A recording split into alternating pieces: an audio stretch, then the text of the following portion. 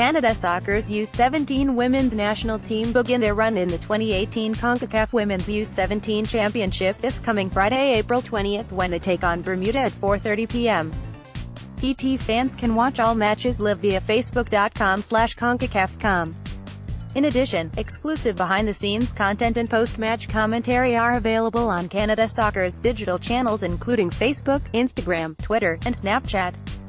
The squad features nine players from the Vancouver Whitecaps FC Super REX program, in partnership with BC Soccer. The list includes defender Maya Antoine, midfielder Stella Downing, Maya Ladhani, and Caitlin Shaw, and forwards Teni Akindoju, Jordyn Huitema, Jayde Riviere, Aaliyah Scott, and Anderson Williams.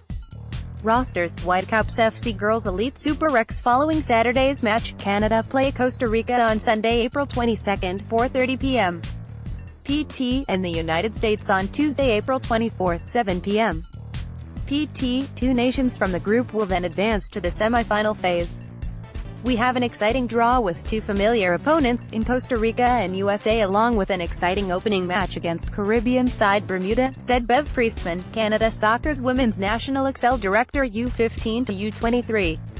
This competition provides a great opportunity for players to experience new styles of play, heat, kick turnarounds between matches, and ultimately perform and flourish under pressure to qualify for a FIFA U17 Women's World Cup. It is a huge learning experience. Two teams from the CONCACAF U17 Championship will advance to the 2018 FIFA U17 Women's World Cup in Uruguay, running from November 13 to December 1.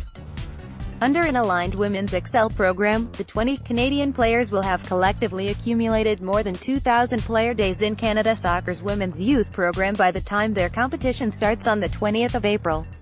Three players, Teni Akindoju, Jayde Riviere, and Caitlin Shaw, have already accumulated more than 200 camp days and three players have already earned their first call-up to the women's national team, Riviere, Jordyn Huitema, and Ariel Young.